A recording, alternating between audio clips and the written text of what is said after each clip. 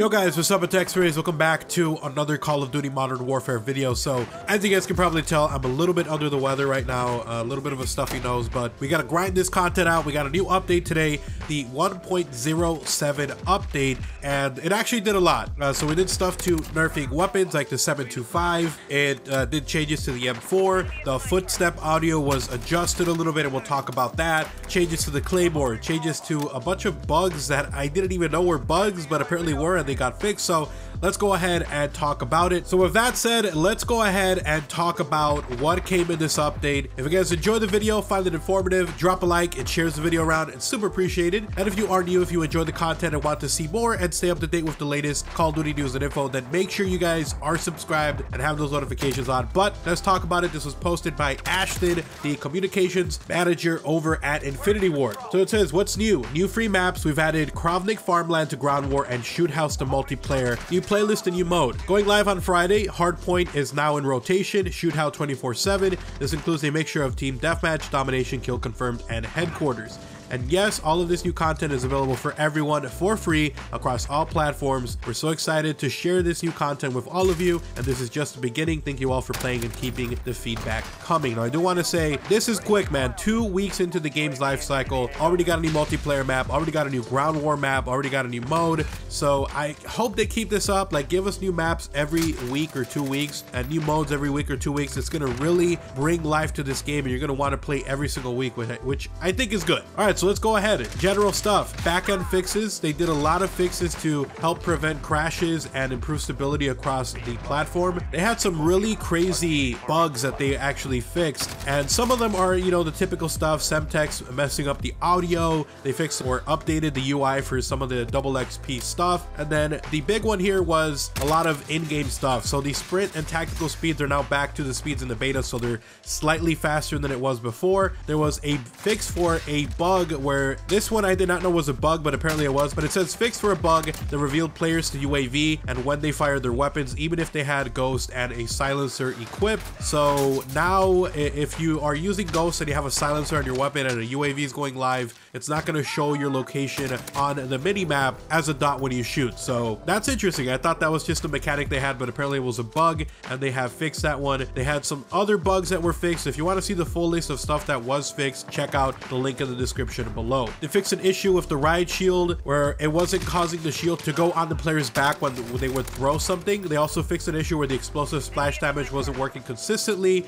And I think that just means like if someone threw a C4 right at you, it wasn't doing the right damage. So it looks like they did fix that. For Claymores, they did a nerf and oh baby, it was in a good freaking nerf. It says detonating an enemy Claymore with bullets is now non-lethal when at full health. We've also reduced the trigger and the damage radius and also reduced the damage width to better match the trigger width. So basically, if you shoot a claymore, even if you're standing right in front of it, it's gonna do damage to you, but it's not gonna kill you anymore. Thank God. There were so many times where I would shoot a claymore and it would obliterate me. So there was no reason for you to even want to destroy it to go up and get a camper because you would die instantly. So they fixed that. I'm really happy they did that. I did notice that I actually ran past one of the claymores and it didn't kill me, which is insane. So I'm happy with what they did with the claymores. They're gonna keep a close eye on that. For battle chatter, so if like your player's running up and he spots someone and he goes, he's over there, or you know, he's over by the buses, the enemy could hear you screaming that. So it was giving away your location. Now they won't be hearing that, which I think is pretty freaking awesome as well. For mounting, they actually added a slight increase to the recoil. So before it was a straight up laser, now it actually has a bit of recoil still, so you do still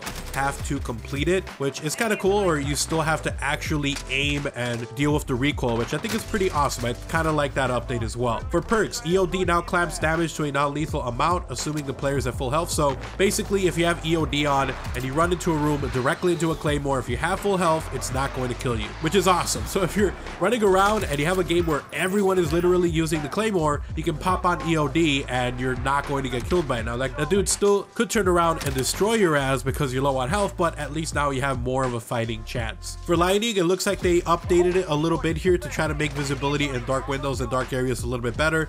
I think there's still a way off on this. There's still too many times where I run around a corner, someone's hiding in a corner, I don't see them at all, no red like little uh, name above them. It's just like hiding in the corner like nothing.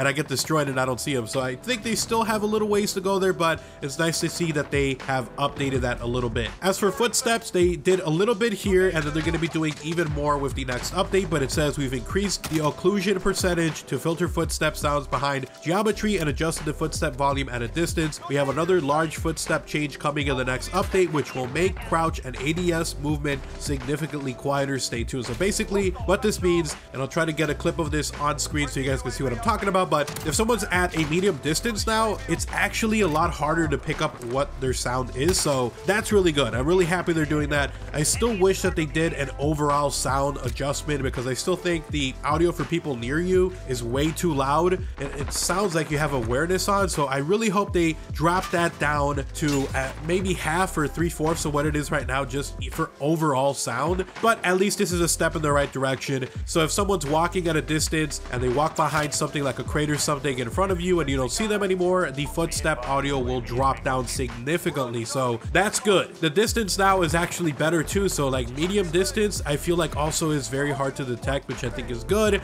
So that's a good one. And then the next one they're going to work on when you're walking around and when you're crouching and when you're ADSing and moving around. So that's actually pretty cool. I'm really happy to hear that. They have some fixes going now for challenges, progression, and rake. So they fixed a ton of bugs that were going on there. So hopefully that means that now we're able to complete our daily challenges and our mission challenges as well with no issues. All right, so the next one, let's go ahead and talk about the weapon changes that they had. The 725 shotgun, they increased the ADS time and the hip spread as well, along with reducing the damage range. So it's not going to be as deadly. It's still pretty bad. Like you guys will see gameplay where I'm just destroying people with it. But at the same time, at least it's a step in the right direction. It's going to take longer to ADS for someone. So if someone's trying to pick you off at a distance, it's going to take them a little longer to ADS to kill you. The range has also been reduced, which I think is awesome. And then obviously the hip spread as well. So I actually often found myself like, unless I was dead on, on upper body, I was getting a lot of hit markers. So I think that's actually good. That's in my opinion, you have to be dead as on with the 725 if you want that one shot range.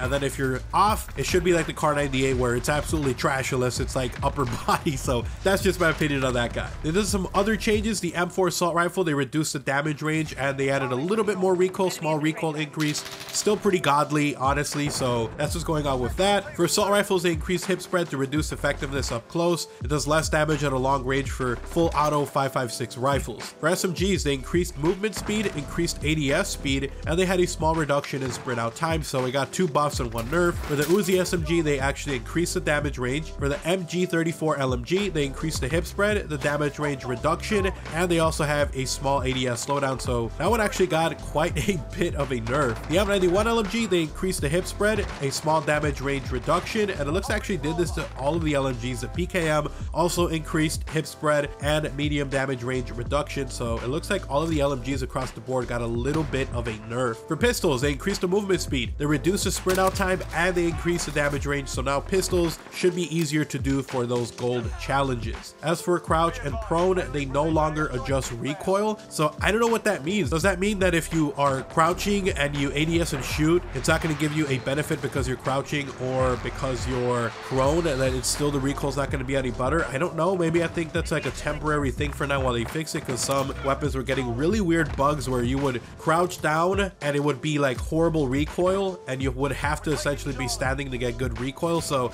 maybe that's just what they're doing. I'm not really sure. They did a lot of other bug fixes to cyber attack, to ground war, and also specifically to special ops. If you want to see what those issues are, I will link the article in the description below, but I don't want to waste too much time going super nitty gritty on those bug fixes. So check them out, spec ops info, and then also mode specific details will be in the description below. I tried to cover some of the bigger bugs and issues. So anyways, thank you guys so much for watching the video. Hopefully you guys did enjoy it. If you did, drop a like on the video, guys. It's super appreciated and incredibly helpful. And if you are new to the channel, if you want to see even more videos like these, I'm going to have a lot more Call of Duty Modern Warfare news, info, rumors, leaks, and more coming. So make sure you're subscribed, have those notifications on so you don't miss a single upload here on the channel. If you guys want to support the channel directly, you can do so by checking out my channel memberships. You can access early content, exclusive videos, special badges, and more. So check that out only if you're willing and able to. And then last but not least, if you guys want to talk about anything, Twitter is literally the best place to do so. Go ahead and give me a follow at OGXRAYZ, link in the description below. You guys have an awesome day. Take care. I'm out. Peace.